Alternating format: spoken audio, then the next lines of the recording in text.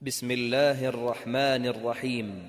يسر الإدارة العامة للتوجيه والإرشاد بالمسجد الحرام أن تقدم لكم.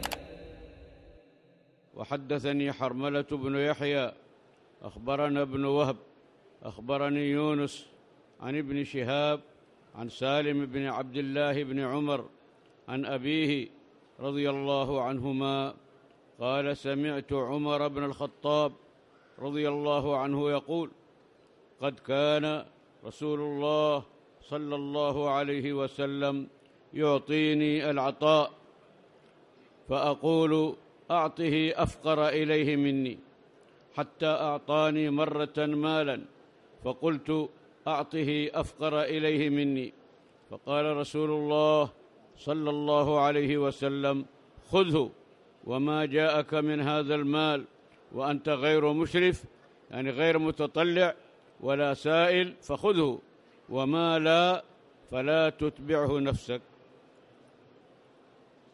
عمر بن الخطاب رضي الله عنه كان النبي صلى الله عليه وسلم يستعمله لقبض الزكوات من أهل الأموال ويعطيه أجرته. فكان يقول رضي الله عنه أعطه أفقر إليه مني. فقال رسول الله صلى الله عليه وسلم خذه. هذا مال نصيبك وأجرى على عملك وما جاءك من هذا المال وأنت غير مشرف أي غير متطلع ولا سائل فخذه وما لا فلا تتبعه نفسك. قال النووي رحمه الله هذا الحديث فيه منقبة أي فيه فضيلة لعمر رضي الله عنه وبيان فضله وزهده وإيثاره أن يقدم غيره على نفسه والم... نعم. والمشرف إلى شيء هو المتطلع إليه الحريص عليه وما لا فلا تتبه ولا تتبعه نفسك معناه ما لم يوجد فيه هذا الشرط لا تعلق النفس به واختلف العلماء رحمه الله في من جاء من في من جاءه مال هل يجب قبوله أم يندب على ثلاثة مذاهب. وحدثني أبو الطاهر أخبرنا ابن وهب أخبرني عمرو بن الحارث عن ابن شهاب عن سالم بن عبد الله عن أبيه رضي الله عنه أن رسول الله صلى الله عليه وسلم كان يعطي عمر بن الخطاب رضي الله عنه العطاء أي أجرة عمله ونصيبه. فيقول له عمر رضي الله عنه أعطه يا رسول الله أفقر إليه مني. فقال رسول الله فقال له رسول الله صلى الله عليه وسلم خذه فتموله أي تملكه أو تصدق به. وما جاءك من هذا المال وأنت غير مشرف غير متطلع ولا سائل فخذه. وما لا فلا تتبعه نفسك. قال سالم فمن أجل ذلك كان ابن عمر رضي الله عنهما لا يسأل أحدا شيئا ولا يرد شيئا أعطيه. وحدثني أبو الطاهر أخبرنا ابن وهب قال عمرو وحدثني ابن شهاب بمثل ذلك عن السائب بن يزيد عن عبد الله بن السعدي عن عمر بن الخطاب رضي الله عنه عن رسول الله صلى الله عليه وسلم. حدثنا قتيبة بن سعيد حدثنا ليث عن بكير عن بسر بن سعيد عن ابن الساعدي المالكي أنه قال استعملني عمر بن الخطاب رضي الله عنه على الصدق. أي جعلني آخذ الزكوات من أهل الأموال وأجي وآتي به. فلما فرغت منها وأديتها إليه أمر لي بعمالة أي أجرة عمله. فقلت إنما عملت لله وأجري على الله. فقال خذ ما أعطيت فإني عملت على عهد رسول الله صلى الله عليه وسلم فعملني أي أعطاني فقلت مثل قولك. فقال لي رسول الله صلى الله عليه وسلم إذا أعطيت شيئا من غير أن تسأل فكل وتصدق.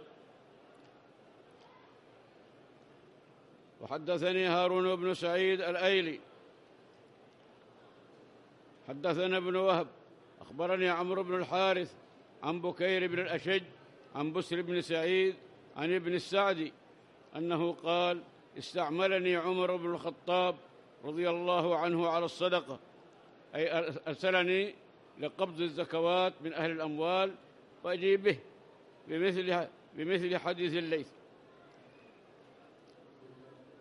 حدثنا زهير بن حرب حدثنا سفيان بن عيينة عن أبي الزناد عن الأعرج عن أبي هريرة رضي الله عنه يبلغ به النبي صلى الله عليه وسلم. قال قلب الشيخ شاب على حب اثنتين حب المال حب العيش والمال. النبي صلى الله عليه وسلم قال قلب الشيخ أي الشيبة شاب قلبه شاب على حب العيش والمال. يحب الحياة ويحب المال. يعني هذا حال الناس. كل شيبة يحب العيش ويحب المال. فإذا كان يستعمل الحياة والمال في طاعة الله فهذا خير. وأما إذا شغله عن طاعة الله فهذا مذموم. وحدثني أبو الطاهر وحرملة قال أخبرنا ابن وهب عن يونس عن ابن شهاب عن سعيد بن المسيب عن أبي هريرة رضي الله عنه أن رسول الله صلى الله عليه وسلم قال قلب الشيخ أي شيبة شاب على حب اثنتين طول الحياة وحب المال. فإن كان يستعين بذلك على طاعة الله فهذا خير. وأما إذا شغله عن طاعة الله فهذا ليس بخير. وحدثني يحيى بن يحيى وسعيد بن منصور وقتيبة بن سعيد كلهم عن أبي عوانة.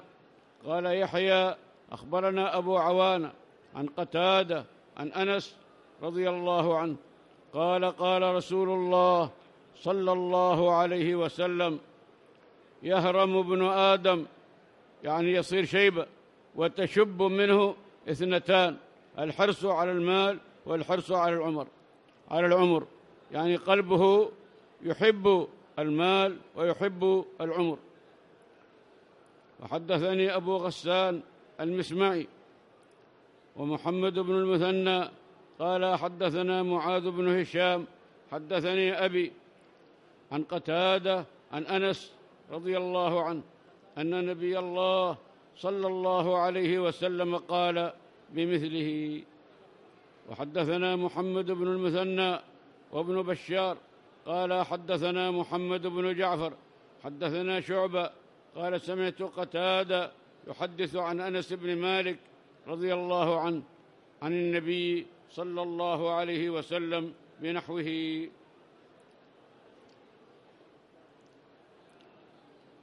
حدثنا يحيى بن يحيى وسعيد بن منصور وقتيبة بن سعيد. قال يحيى أخبرنا.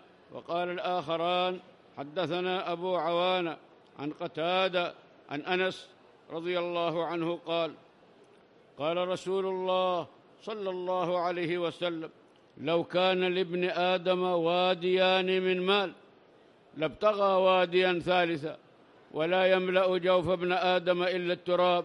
ويتوب الله على من تاب. قال النووي رحمه الله فيه ذم الحرص على الدنيا وحب المكاثرة بها والرغبة فيها ومعنى لا يملأه لا يملأ جوفه إلا التراب أنه لا يزال حريصا على الدنيا حتى يموت ويمتلئ جوفه من تراب قبره. فعلى المسلم أن يحرص على طاعة الله تعالى ولا ينشغل بحب المال ولا يشغله عن طاعة الله.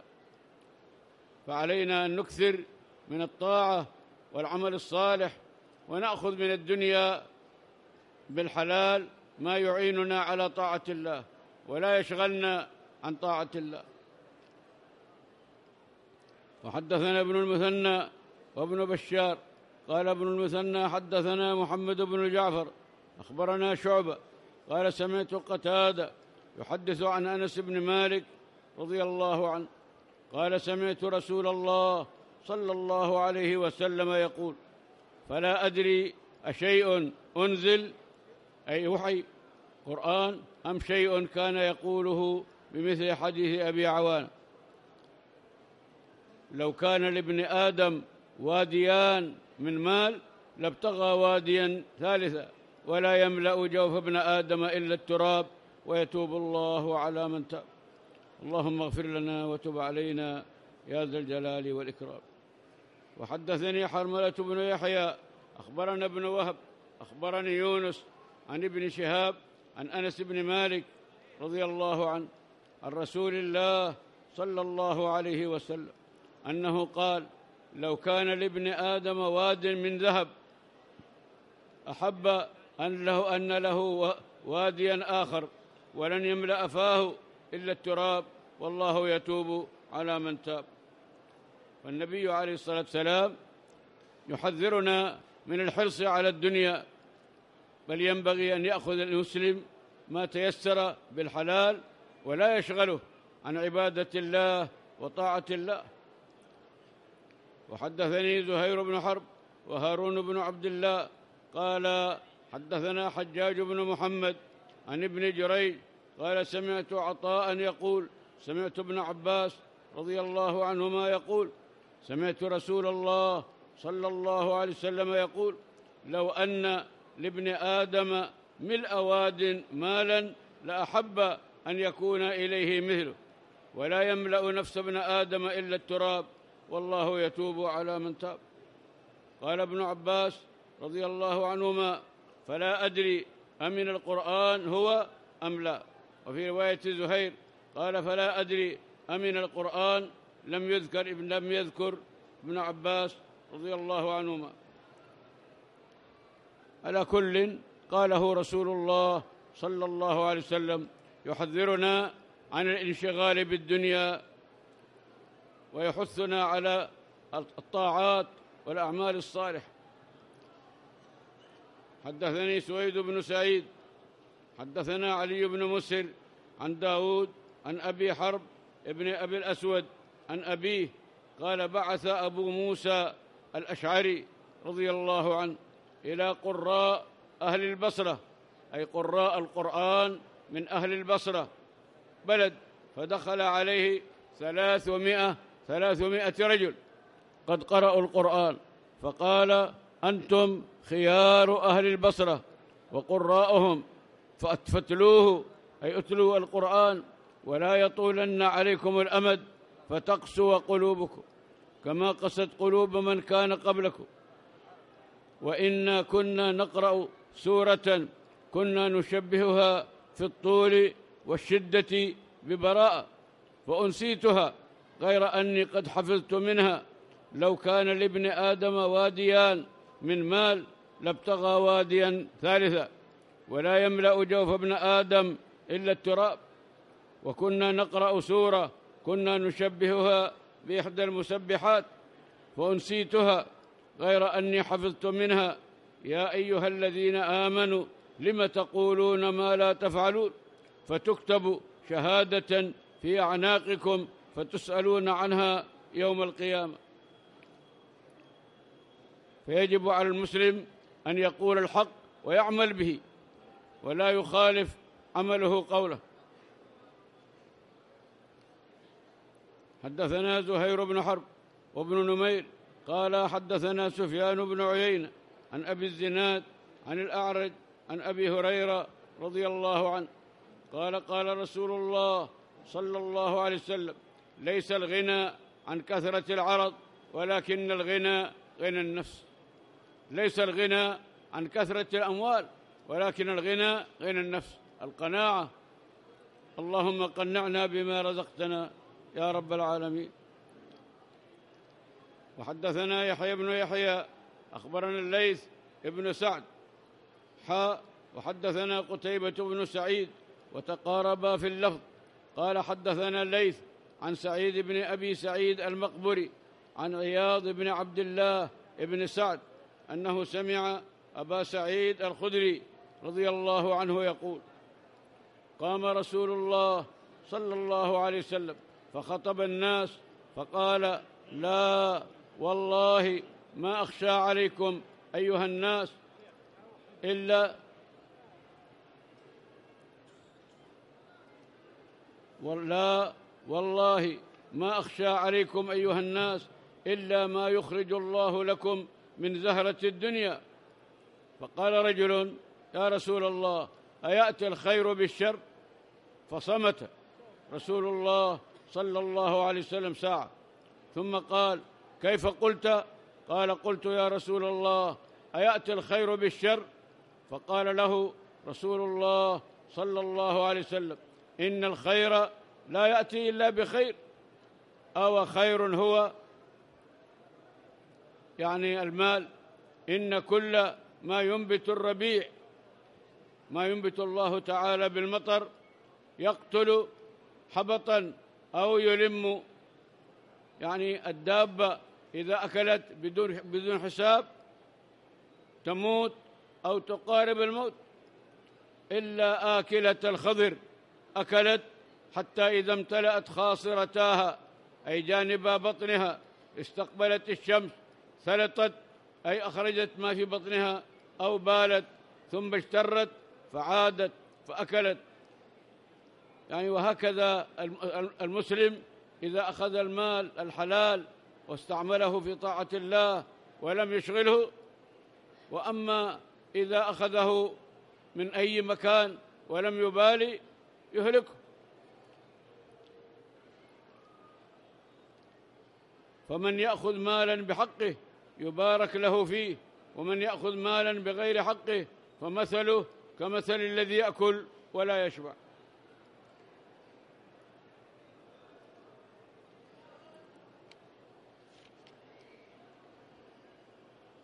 حدثني أبو الطاهر حد أخبرنا عبد الله بن وهب قال أخبرني مالك بن أنس عن زيد بن أسلم عن عطاء بن يسار عن أبي سعيد الخدري رضي الله عنه أن رسول الله صلى الله عليه وسلم قال أخوف ما أخاف عليكم ما يخرج الله لكم من زهرة الدنيا. قالوا وما زهرة الدنيا يا رسول الله؟ قال بركات الأرض. قالوا يا رسول الله وهل يأتي الخير بالشر؟ قال لا يأتي الخير إلا بالخير. لا يأتي الخير إلا بالخير. لا يأتي الخير إلا بالخير. إن كل ما أنبت الربيع يقتل أو يلم. ما ينبت الله تعالى بالمطر الدابة إذا أكلت بدون بدون حساب يقتلها أو يقارب الموت. إلا آكلة الخضر فإنها تأكل حتى إذا امتدت خاصرتاها. طرف بطن بطنها استقبلت الشمس ثم اجترت وبالت وثلطت ثم عادت فأكلت. يعني تأكل بحساب فهذه تسلم. وأما إذا أكلت بدون حساب تموت أو تقارب الموت. إن هذا المال خضرة حلوة فمن أخذه بحقه الحلال ووضعه في حقه في طاعة الله فنعم المعون هو. ومن أخذه بغير حقه كان كالذي يأكل ولا يشبع. فينبغي للمسلم أن يكتسب المال الحلال ويستعين به على طاعة الله ولا يأخذ الحرام ولا يحذر وعليه أن يحذر المال الحرام. اللهم اغننا بحلالك عن حرامك وبفضلك عمن سواك. وأهلنا وأولادنا والمسلمين والمسلمات. حدثني علي بن حجر أخبرنا إسماعيل ابن إبراهيم عن هشام صاحب الدستوائي عن يحيى بن أبي كثير عن هلال بن أبي ميمونة عن عطاء بن يسار عن أبي سعيد الخدري رضي الله عنه. قال جلس رسول الله صلى الله عليه وسلم على المنبر وجلسنا حوله فقال إن مما أخاف عليكم بعدي ما يفتح عليكم من زهرة الدنيا وزينتها. فقال رجل أو يأتي الخير بالشر؟ يا رسول الله. قال فسكت عنه. رسول الله صلى الله عليه وسلم. فقيل له ما شأنك؟ تكلم رسول الله صلى الله عليه وسلم ولا يكلمك. قال ورؤينا أي رأينا أنه ينزل عليه أي يوحى الله يوحي إلى رسوله صلى الله عليه وسلم. فأفاق يمسح عنه الرحضاء أي يمسح عنه العرق. وقال إن هذا السائل وكأنه حمده يعني سؤاله مفيد. فقال إنه لا يأتي الخير بالشر وإن مما ينبت الربيع أي الكلأ الذي ينبته الله يقتل أو يلم أي إذا أكلت الدابة بغير حساب. إلا آكلة الخضر فإنها أكلت حتى إذا امتلأت خاصرتاها طرفا بطنها استقبلت عين الشمس فثلطت أي خرج منها الوسخ وبالت ثم رتعت يعني بالحساب. فالذي يأكل المال الحلال ويستعين به على طاعة الله فهو على خير. وأما إذا شغله المال وجمعه من حلال وحرام فخسر والعياذ بالله. وإن هذا المال خضر حلو ونعم صاحب المسلم هو لمن أعطي لمن أعطى منه المسكين واليتيم وابن السبيل. يعني عمل به في الخير. أو كما قال رسول الله صلى الله عليه وسلم وإنه من يأخذه بغير حقه كان كالذي يأكل ولا يشبع ويكون عليه شهيدا يوم القيامة.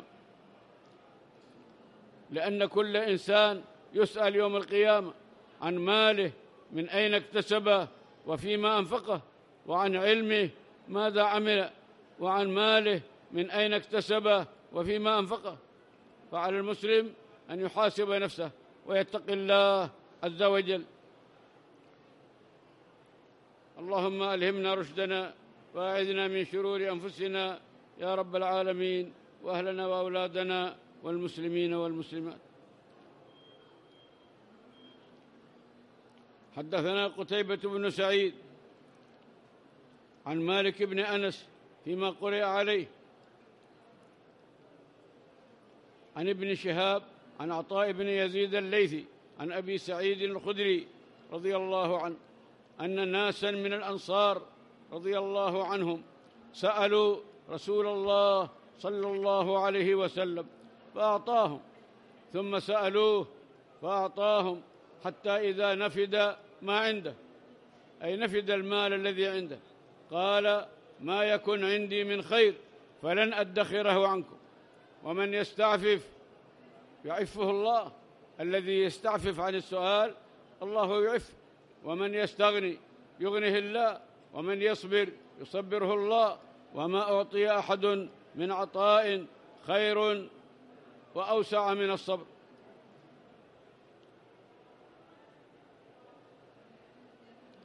فينبغي للمسلم أن يقنع بما أعطاه الله ولا يسأل إلا عند الاضطرار. حدثنا عبد بن حميد أخبرنا عبد الرزاق أخبرنا معمر عن الزهري بهذا الإسناد نحوه.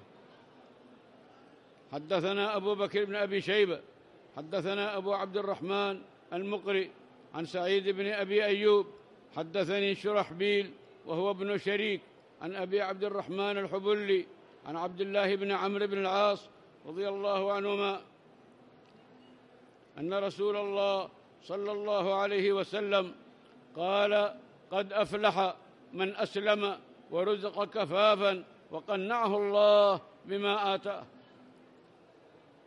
اللهم ثبتنا على الإسلام وقنعنا بما رزقتنا وأعنا على ذكرك وشكرك وحسن عبادتك وأهلنا وأولادنا والمسلمين.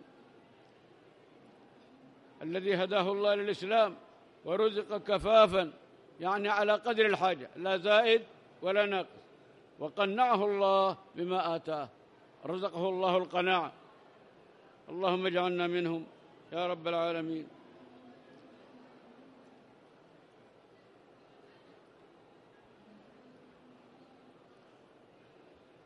حدثنا أبو بكر بن أبي شيبة وعمر الناقد وأبو سعيد الأشج قالوا حدثنا وكيع حدثنا الأعمش حاء وحدثني زهير بن حرب حدثنا محمد بن فضيل عن أبيه كلاهما عن عمارة بن القعقاع عن أبي زرعة عن أبي هريرة رضي الله عنه. قال قال رسول الله صلى الله عليه وسلم اللهم اجعل رزق آل محمد قوتا يعني على قدر الحاجة لا زائد ولا ناقص. حدثنا عثمان بن أبي شيبة وزهير بن حرب وإسحاق بن إبراهيم الحنظلي. قال إسحاق أخبرنا وقال الآخران حدثنا جرير عن الأعمش عن أبي وائل عن سلمان بن ربيعة.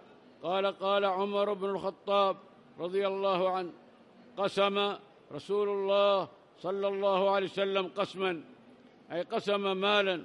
فقلت والله يا رسول الله لغير هؤلاء كان أحق به منهم.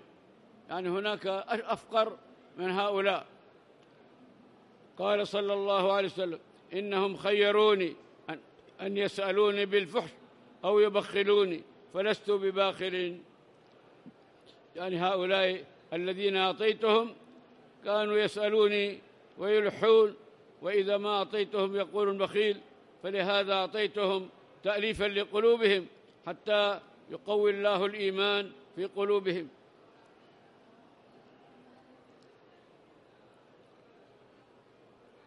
حدثني عمرو الناقد حدثنا إسحاق بن سليمان الرازي قال سمعت مالكا حاء وحدثني يونس ابن عبد الأعلى واللفظ له أخبرنا عبد الله ابن وهب حدثني مالك بن أنس عن إسحاق بن عبد الله بن أبي طلحة عن أنس بن مالك رضي الله عنه قال كنت أمشي مع رسول الله صلى الله عليه وسلم وعليه رداء نجراني رداء مصنوع بنجران غليظ الحاشية أي طرفه غليظ ثخين فأدركه أعرابي من أهل البادية فجبذه بردائه جبذة شديدة. الأعرابي جر النبي صلى الله عليه وسلم بردائه جرا شديدا. أعرابي. نظرت إلى صفحة عنق رسول الله صلى الله عليه وسلم وقد أثرت بها حاشية الرداء من شدة جبذته ثم قال ذلك الأعرابي مر لي من مال الله الذي عندك يا محمد صلى الله عليه وسلم. مر لي من مال الله الذي عندك.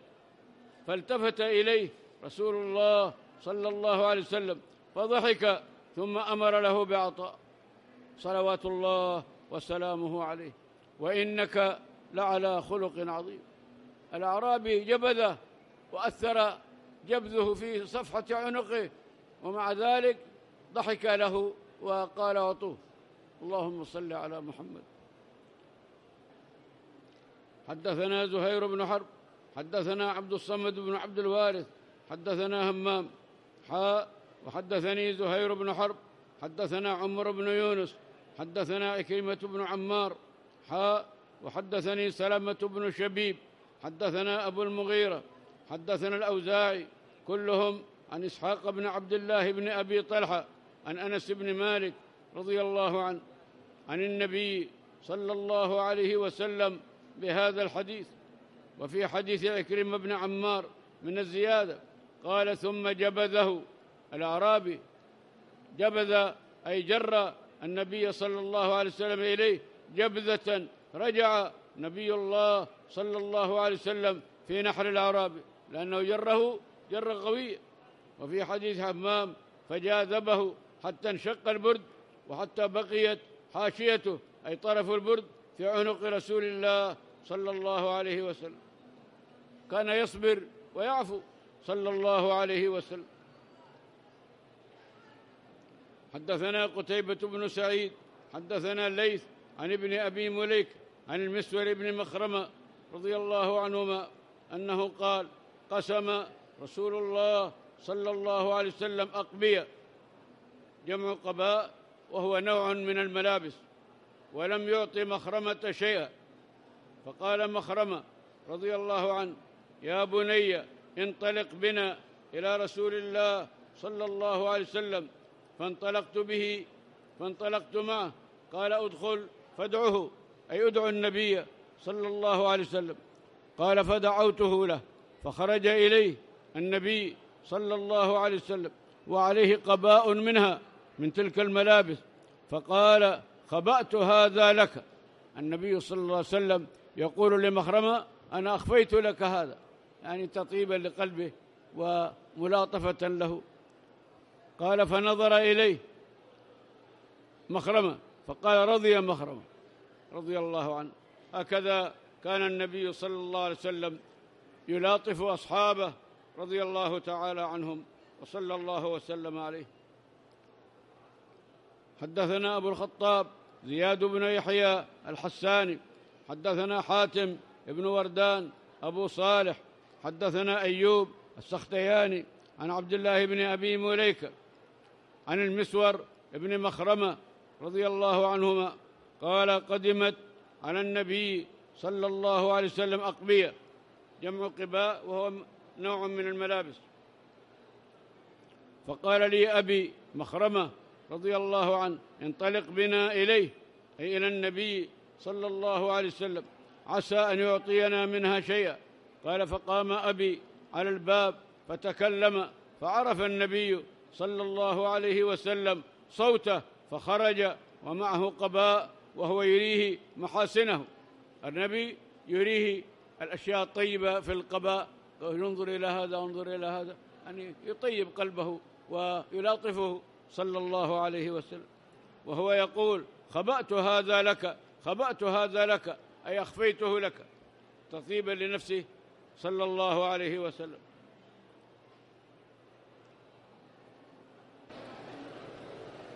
قال الشيخ عبد العزيز بن محمد السلمان رحمه الله في المناهل الحسان في دروس رمضان. الفصل الأول في شهر رمضان يقول الله تعالى يا أيها الذين آمنوا كتب عليكم الصيام كما كتب على الذين من قبلكم لعلكم تتقون. يقول الله تعالى يا أيها الذين آمنوا كتب عليكم الصيام. يقول الله تعالى مخاطبا المؤمنين من هذه الأمة وامرا لهم بالصيام وهو الإمساك عن الطعام والشراب والوقاع أي الجماع بنية خالصة لله عز وجل ايمانا بالله واحتسابا لما فيه أي لما في الصيام من زكاة النفوس أي تطهير النفوس. الله يطهر المؤمنين بالصيام. لما فيه من زكاة النفوس وطهارتها وتنقيتها من الاخلاق الرديئة والأخلاق الرذيلة. فالصيام يحسن يحسن الله به خلق العبد المؤمن. وذكر أنه ذكر الله عز وجل أنه كما أوجبه عليهم فقد أوجبه على من كان قبلهم فلهم فيهم أسوة وليجتهد هؤلاء في أداء هذا الفرض أكمل مما فعله أولئك. انتهى كلام ابن كثير رحمه الله. فالصيام يزكي النفوس ويهذبها. اللهم انفعنا بالصيام والعبادة يا رب العالمين. وقد وردت في فضله ومضاعفة أجره أحاديث كثيرة. روى الإمام أحمد والنسائي رحمهم الله عن أبي هريرة رضي الله عنه قال كان رسول الله صلى الله عليه وسلم يبشر أصحابه بقدوم شهر رمضان فيقول جاءكم شهر رمضان شهر مبارك كتب الله عليكم صيامه فيه تفتح أبواب الجنة وتغلق فيه أبواب الجحيم وتغل فيه الشياطين وفيه ليلة خير من ألف شهر من حرم خيرها فقد حرم.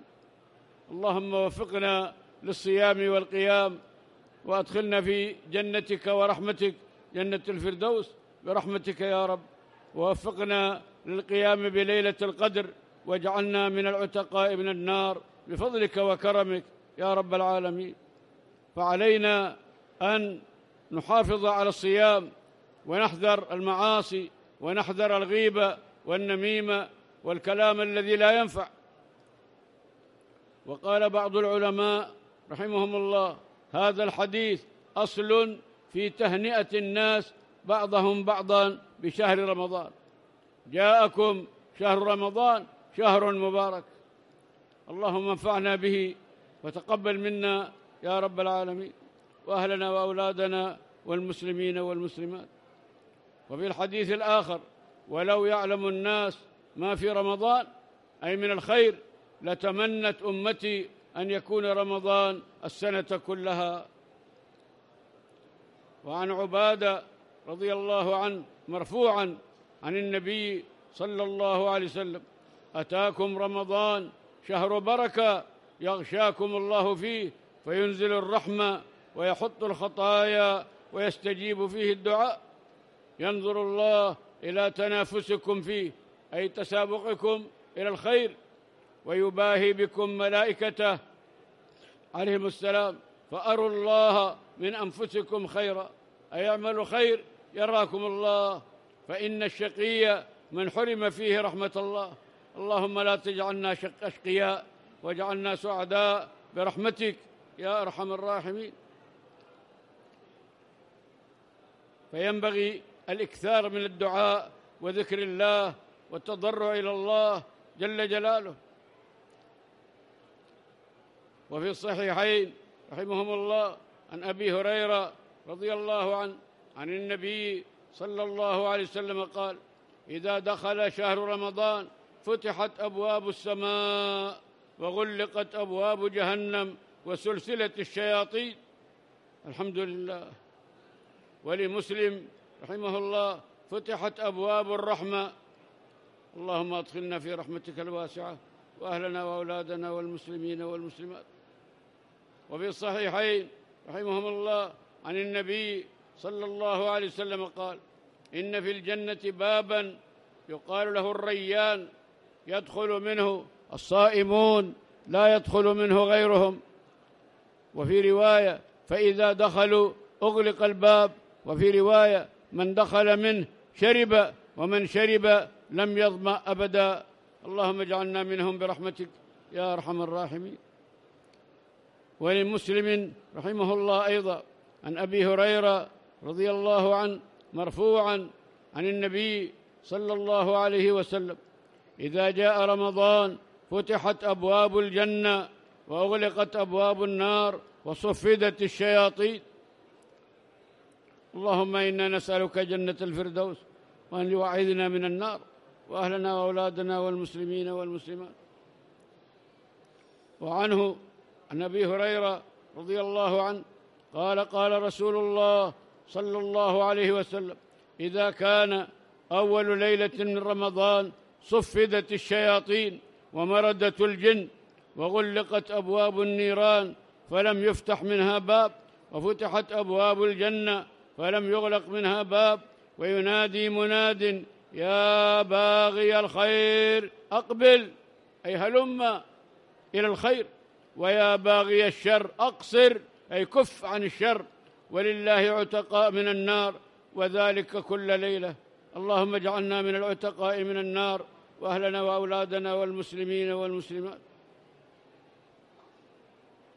وعن أبي هريرة رضي الله عنه قال قال رسول الله صلى الله عليه وسلم الصلوات الخمس والجمعة إلى الجمعة ورمضان إلى رمضان مكفرات ما بينهن إذا اجتنبت الكبائر.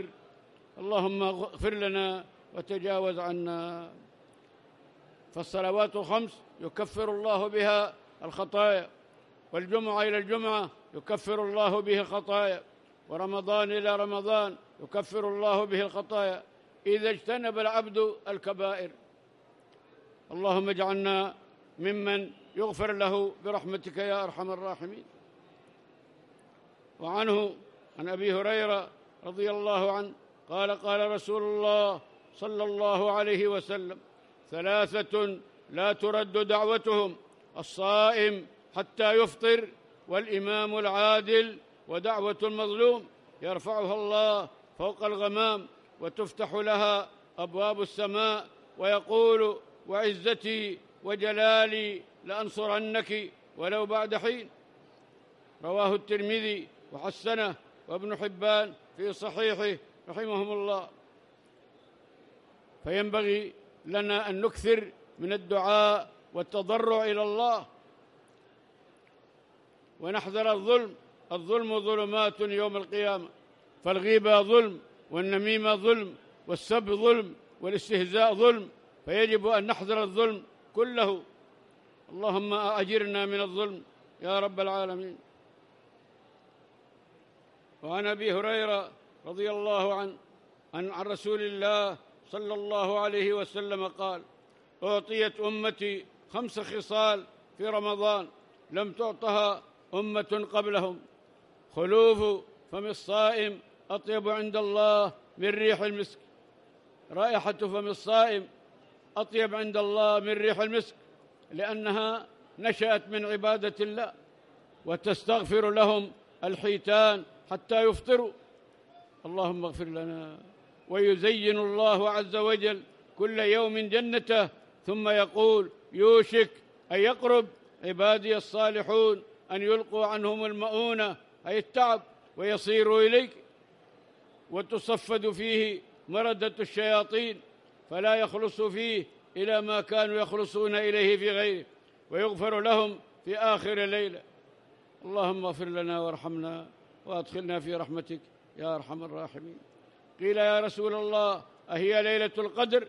قال لا ولكن العامل إنما يوفى أجره إذا قضى عمله.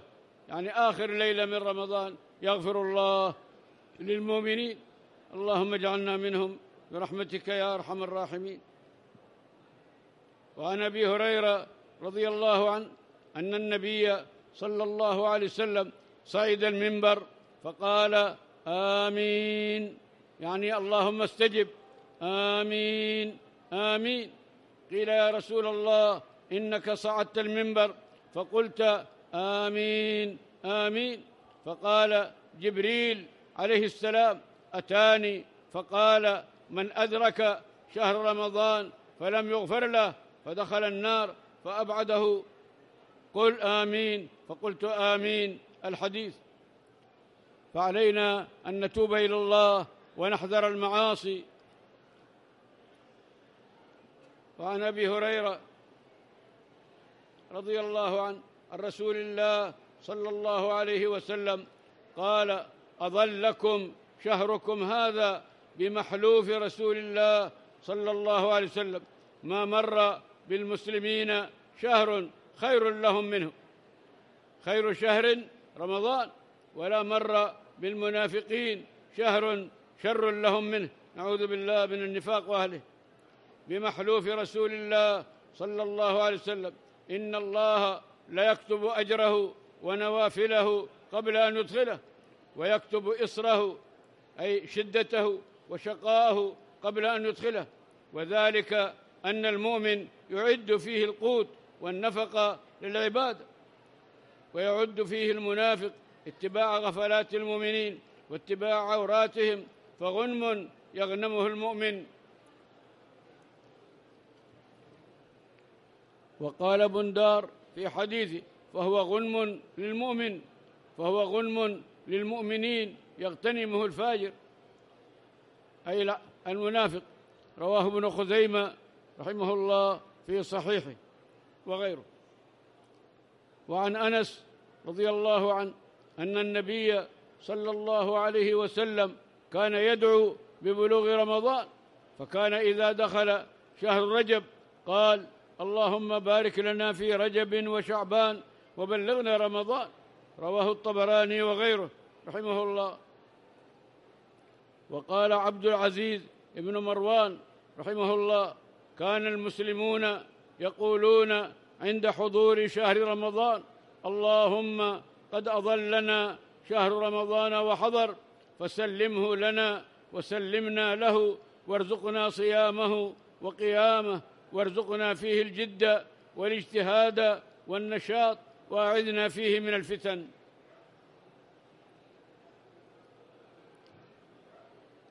اللهم قد اظلنا شهر رمضان وحضر فسلمه لنا وسلمنا له وارزقنا صيامه وقيامه وارزقنا فيه الجد والاجتهاد والنشاط وأعذنا فيه من الفتن والمسلمين والمسلمات.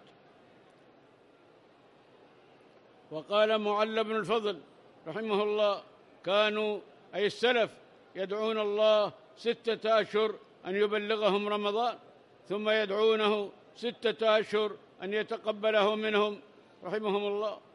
وقال يحيى بن أبي كثير كان من دعائهم السلف اللهم سلمني إلى رمضان وسلم لي رمضان وتسلمه مني متقبلا. اللهم سلمنا إلى رمضان وسلم لنا رمضان وتسلمه منا متقبلا يا أرحم الراحمين. اللهم أهل شهرنا علينا بالسلامة والإسلام والأمن والإيمان واغفر لنا كل قبيح سلف وكان وأعتقنا فيه من لفحات النيران وأعنا على الخير يا كريم يا منان. واغفر لنا ولوالدينا وجميع المسلمين الأحياء منهم والميتين برحمتك يا أرحم الراحمين. وصلى الله على محمد وعلى آله وصحبه أجمعين.